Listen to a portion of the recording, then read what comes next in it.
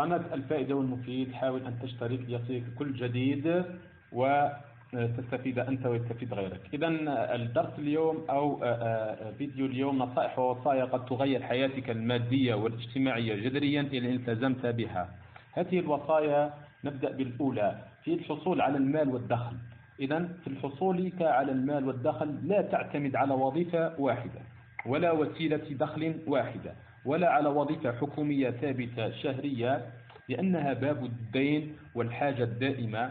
أنت لا تعلم متى تحتاج ولا إذا احتجت لا تنتظر شهرا أو تنتظر حتى دخول تلك الأموال الشهرية.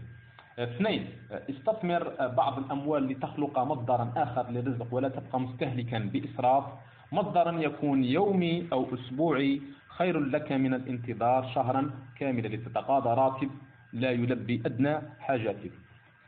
وإن لباها لن يكفيك فتلك المدة لتدخر منه الحياة ومشاكلها واحتياجاتها. لا تنتظرك لدخول راتبك.